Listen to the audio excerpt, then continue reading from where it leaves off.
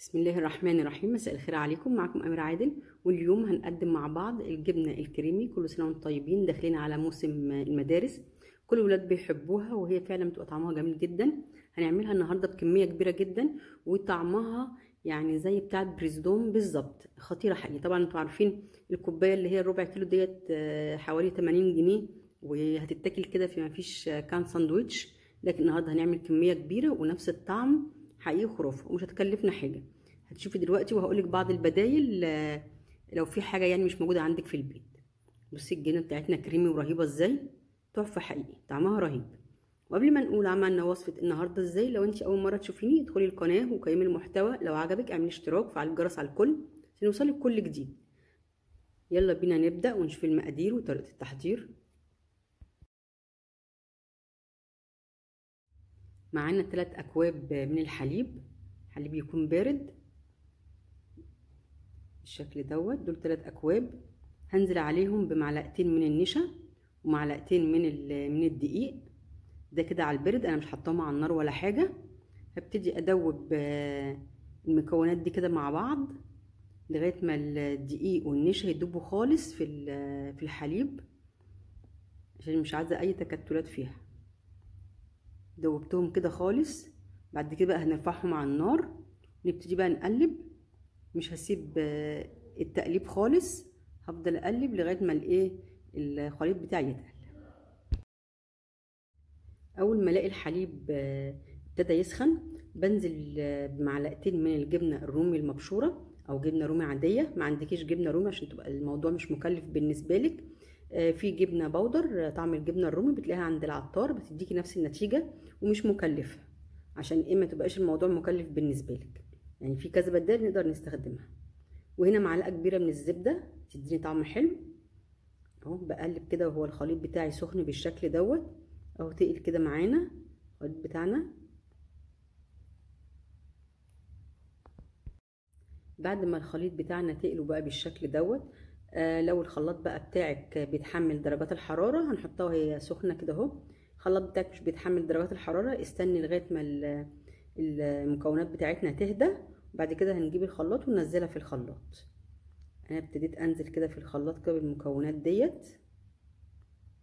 بصي لونها كده أخدنا اللون بتاع الجبنة البريزيدون كده اهو بالشكل ده. نلم بقى الخليط كله بقى مخليش ولا فتفوتة. طبعا أنتوا عارفين العلبة أو الكوباية دي بتبقى ربع كيلو بتاعت بريزيدون ديت ما بتقعدش كده اهوت مفيش لكن إحنا هنعمل كمية كبيرة جدا. بعد كده هنا هجيب علبة جبنة مثلثات. ما تقوليش هي مكلفة ولا حاجة لأ. هاتي أي نوع جبنة في طعم مضيه بتبقى حوالي 20 أو 18 جنيه مش تبقى مكلفة بالنسبة لك. بالمقارنة بسعر الكوباية اللي هي ربع كيلو. انت تعملي كيلو نعمل كيلو من الجبنة الكريمي. زي ما أنتوا شايفين بقى كده في الفيديو حطيت معلقتين من اللبن البودر تقدري تستغني عنهم لو موجود حطي مش موجود مفيش أي مشكلة. وحطيت الملح الملح بقى بيكون على حسب الذوق. حطي كده هو نص معلقة وبعد كده دوقيها آه وشوفيها بقى محتاجة أو لأ على حسب ذوقك في الملح. فزي ما قلت لك كده المكونات اللي مش موجودة عندك ما تحطهاش. اللبن البودر مش موجود مفيش مشكلة. الجبنة الرومي مش موجودة مفيش مشكلة. بنحط الجبنة اللي هي البودر دي رخيصه سواء سايبة أو في أكياس منها من عند العطار هاتيها. طبعا القوام اللي انت شفتيه دوت الجبنة كانت لسه سخنة عشان إحنا لسه منزلينها من على النار وحطينا عليها المكونات ديت. هتحطيها بقى في التلاجة هتتقل معاكي. آه تعالوا بقى نعمل أحلى ساندوتش بقى جبنة وأحلى فطار تحفة رهيب حقيقي. بصي بقى تعالي أوريكي كده القوام بتاعها. ولو حبيتي القوام بتاعك يكون أتقل من كده هنزود آه معلقة من النشا. أهو ده القوام زي بتاعت بره كده بالظبط. طعم حقيقي يا جماعة رهيب. ما تفرقش حاجة خالص عن جبنة بريزيدون. ونعمل بقى كده ساندوتش كده جميل كده أهوت. العيش ده أنا عاملاه في البيت أه هبقى انزل لكم الطريقة بتاعته. تعالوا نحطها كده على على الفينو. بصي كريمي. ونسيت أقول لك حطيت معلقتين زيت عشان يديك اللمعة اللي بتشوفيها ديت آه وهي بتتضرب في الخلاط. أثناء ضربها في الخلاط حطي كده معلقتين من الزيت بس يكون نوعية نظيفة.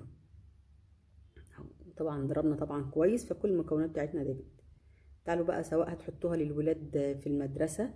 أو أنت تفطري كده بيها الصبح هنعمل كده سندوتش كده جميل جدا. بصوا بقى سندوتش كده قنبلة كده. هنحط أول حاجة هحط الجبنة الكريمي. بالشكل ده كده.